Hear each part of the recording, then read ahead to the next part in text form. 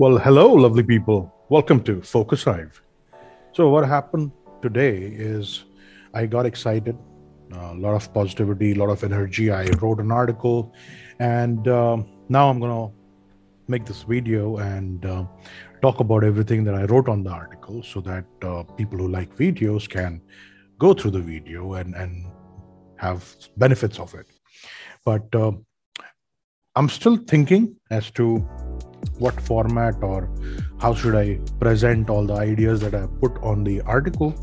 But uh, what the heck? Let's just uh, let's just go through it and and see how we try and understand each and every topic that I said. Probably it's going to be a long video, so sit tight, watch it through and through, and. Uh, then share your feedback share your uh, suggestions how you want me to change the video or the or the content type and um, let's get on with it then. So the article was about being a great team player and it's, it's a it's a coveted title that everybody wants to be or wants to become that loving lovable go-to guy or a go-to person in the team. And uh, everybody has heard from their managers from their coaches from the leaders that you should be a team player you should be a good team player.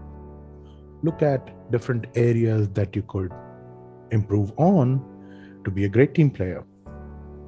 Seldom has anyone took the effort to go and tell you that you got to do X, Y, Z to be the best team player that there can be. I clearly remember the situations when, when I was in, when I would uh, go out or I would have a discussion with my friends and uh, rant about whatever has happened in the meetings and maybe hear the ranting or venting out from my colleagues or my friends that they are feeling unappreciated or they are not very happy how things are going or whatever they are doing is not being seen. I, cl- I clearly remember a friend of mine, high level Linux troubleshooter, right? Crazy guy. If you talk about Linux, he knows everything on his on the tip of his fingers. But he was un, un, he was unappreciated, and uh, from my point of view, he was the wrong fit in the role. Uh, good friend of mine, and frank, quite frankly, towards the towards the end of his corporate career, I was the one to tell him that, bro, drop it. This is not your ball game. You're a you're a entrepreneur. Go run your business, and that's what currently he's doing, and he's really good. But what I want to bring from his experience is that he used to often get to hear this that you need to do more. You need to be a good team player. You need to be a someone who you can collaborate with. But nobody ever told him what to do and how to do. So probably this is my attempt to explain you step by step as to what you should do to be called as a great team player, to be the go to person. Because if you look at your career graph, the moment you become a go to person, the moment you are the um, candy of everybody's eye, you start seeing yourself growing in the career ladder. So, let's talk about one of the most important aspect that is kind of uh, cherished when when we look at someone as a great team player. And that is reliability. Number 1 be reliable right? What does that mean? Be reliable. Well rahul dravid right? If you look at uh, indian cricket 90s and probably in 2000s as well, Rahul Dravid was the most reliable batsman India could ever have. Right? There's a reason why he's called the wall. So you got to be reliable, which means people should be able to depend on you. And how do you inculcate that? And how do you make everybody believe that you're reliable? How do you get to a situation where people start believing in you just by walking the talk. Which means whatever you are saying you will do you do that right you got to be like salman khan right who says जो मैं कहता हूं वो मैं करता हूं और जो मैं नहीं कहता वो मैं डेफिनेटली करता हूं मतलब means he does it and that's how the image is built not overnight of course not overnight it takes some time and effort from your side to build that image right so every time you commit to something you fulfill it from my point of view the second such quality is someone who is not dominant. When I say dominant, I pretty much want to say that you are not someone who's just eating up everybody's time. You're not someone who's just overshadowing everybody. You are not someone who's getting into a meeting room and just blabbering yourself out. Don't be a attention hogger, right? Yes, it's as Jordan Peterson says. You should be a monster. You know, because everyone says, well, you should be harmless, virtuous. You shouldn't do anyone any harm. You should sheath your competitive instinct. You shouldn't try to win. You know, you, you don't want to be too aggressive. You don't want to be too assertive. You want to take a back seat and all of that. It's like, no. Wrong. You should be a monster, an absolute monster. And then you should learn how to control it. Right? You got to be a monster. You got to be a monster. But you should also know that you're a monster and stop yourself from being a monster. You should have that much control on yourself and your emotions. Hence, I say, be humble and give space to everybody. Give space to everybody. Always believe in the best performer should win. Right? Collaborate, cooperate, work with work with everybody right we are human beings and i've been i think i've made another video probably i'll link that video that we we are a pack animal. We don't do lone wolf thing. We, we cannot survive doing that. We are a pack animal. We need our pack. So if you keep dominating if you keep eating up attention dude you're gonna be lonely. So ensure that when you're working in a group you're giving that space to everybody. You're making everybody feel comfortable yes you're gonna speak your mind but you're not gonna offend anyone. And well let's talk about that in the next point. But over here what i want to say is like you give everybody space you give everybody respect you be humble you put your point across and let everybody else put their point across. Don't eat up others work and just be who you are. Third quality is being a problem solver. What does it mean? It doesn't mean that when a problem is thrown at you, you're able to solve it. That anybody can do. And probably that's the reason why you're hired. That problems are given to you and you solve that. But you are one of those person who when sitting idle is able to identify opportunities able to identify problems and then solve those problems probably those those are not something for you to solve but it's a general problem for your team. It's a general problem that you're seeing that is kind of eating up everybody's time and effort. So you know you can fix it.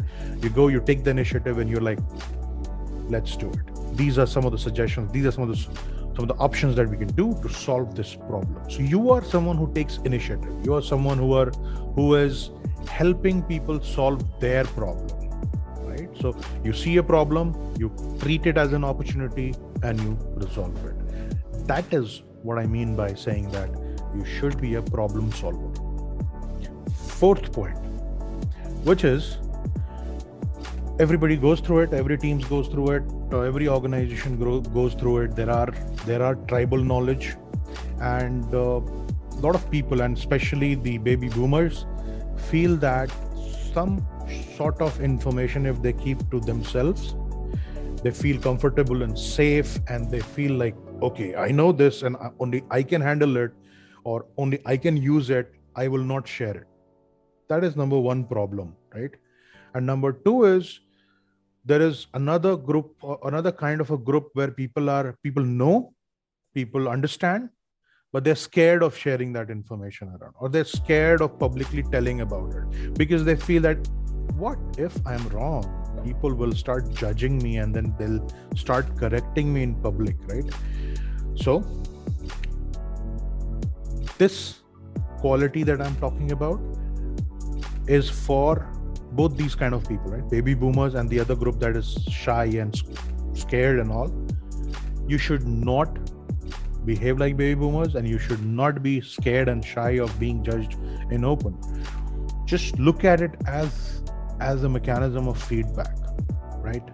So if you know you have some idea about a problem that you can help solve some way or you have some information somebody is asking something and you have some information about it share it. Share information freely. Share knowledge freely.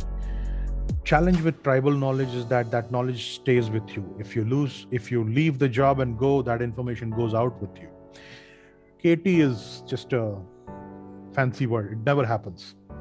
So ensure that you share information freely with everybody. And believe me when you start sharing information freely with everybody you will suddenly see that you have a fan following. People start liking you. People start coming to you to get more out of you right? And that is when you suddenly become the guru of your team so share information freely without having the fear of being judged right? Stay away from skepticism.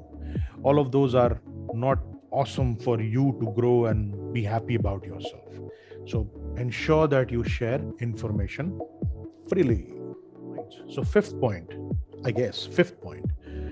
Uh, you're not afraid of failure because you have a growth mindset because you don't have a fixed mindset because you believe in the word yet तो क्या हुआ अगर fail हो गए तो we'll learn from it and we'll change the course of action that we are doing and ensure that the next attempt we move one step further and further and reach the goal the moment you have this attitude where you ensure that you are always learning from your experiences. There is no mistake after that. So you are always brave in every given situation because you know in your mind you're never going to fail because failure doesn't exist. It is always an opportunity for you to learn if it doesn't meet the criteria that you are looking for. And then you can always pivot out of it, make changes, move on. Come on. There's nothing called as failure. Sixth, as if you have watched my video, I've been talking about things that I feel, the way I feel, and I preach that as well. Speak your mind. Don't be scared about polishing it. Just be humble about it. Be respectful, right? Don't be rude. Don't be an AH, right? Be humble be respectful with whoever you're talking to whether you're talking to uh, your reportees whether you're talking to your boss whether you're talking to whoever in the world. Be respectful. Be humble. Try and listen to their point of view right? But don't stop from sharing your point of view. Speak your mind. And unless you speak how on earth the other person is going to know what you're thinking right so tell, speak. God has given you a tongue, use that. Uh, Adam's apple, make the voice come out. Speak your mind. Don't be scared. Don't be shy. Don't don't have the fear that okay maybe I will sound stupid. Well, stupid is something as one of my seniors in the school had defined the acronym smart talented unique personality in my hometown dhanbad stupid you're always stupid well it applies to everyone where whose city starts with d right? You all are stupid. Smart talented unique personality in delhi. Smart talented unique personality in dehradun. So we all are stupids. And the seventh point. Here comes an important one because you need to say no. And uh, I, I learned about it uh, really really early in my career where I, if I can't do it, I can't do it. I can't just say yes and then slog about it. There are a lot of gurus who say that you you say yes and then you go and learn. Well you're learning on someone else's time. You want to learn? Go learn about it and then come back and say hey if you have if you're not done with it i can help you. Right? So yeah i mean everybody has their own point of view. Everybody has their own decisions based on the information that they have at that point in time. For me uh, if i can learn and do it i will say yes if i have that much time. For example i have to i have to do some reporting right? And i may not know how to match certain fields but i know it's a 5 minutes job. If i go google and i'll know it. So i'll say yes i'll get it done. And then i come back and i do google and i figure out how it's done and then i do it and give it back. But let's say i have i, I have to go back and do a 3 months course i'll say. I can't do it sorry out of my scope right or maybe i don't have time because I am already loaded with multiple things. So, a very important idea at this point is that you should be able to negotiate with whoever is giving you that work, right? Probably this is a situation with you and your boss. So, you're getting the work from your boss, and that's where people are scared of saying no. But instead of saying no, you just go with your, with the list of tasks that you're doing, and you say, "Do you want me to deprioritize any of that?" right? And they'll know what you're trying to say. So they'll either they will help you remove one of the items so that you can make space to do the new task or they'll say okay fine you're already busy. Let me have someone else do this task. And you both are respectful about it and nobody's being judged because you're already performing optimum and delivering every task that you has already been given to you and you don't have time and uh, and probably energy to add anything else right? So negotiate. And also at times provide options. And if you're able to uh, if you're able to uh, do a negotiation on priority of your work and the two is if you're able to give options it's really amazing way to say no. So that's the right way to so, say no to anything that's coming your way but ensure that you're always humble and respectful. That's the key of everything that we're saying right? That's the key of humanity. You're a pack animal man. You can't be biting each other all the time. Now, the eighth point is you believe in hustle, which means you are not passive, you are a go getter. And as I call it, you're the extra miler. Everybody loves someone in their team who can squeeze in that extra juice to get things done. Everybody loves it.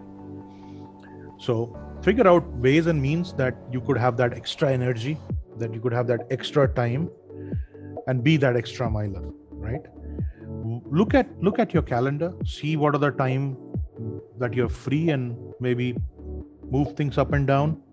There is always possibility. When there's nothing you know you're you've done everything from your side. But if there is an opportunity take that take up the extra work that is coming or that is just lying idle right?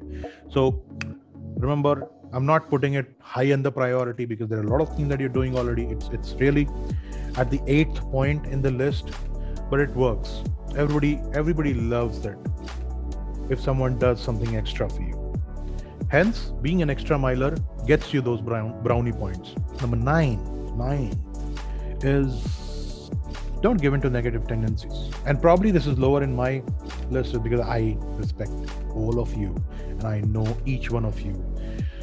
You guys are strong. You don't give in to negative tendencies. You you are always working with ethics, and uh, that's why we are together. Now, when I say don't give in to negative tendencies, it is is difficult.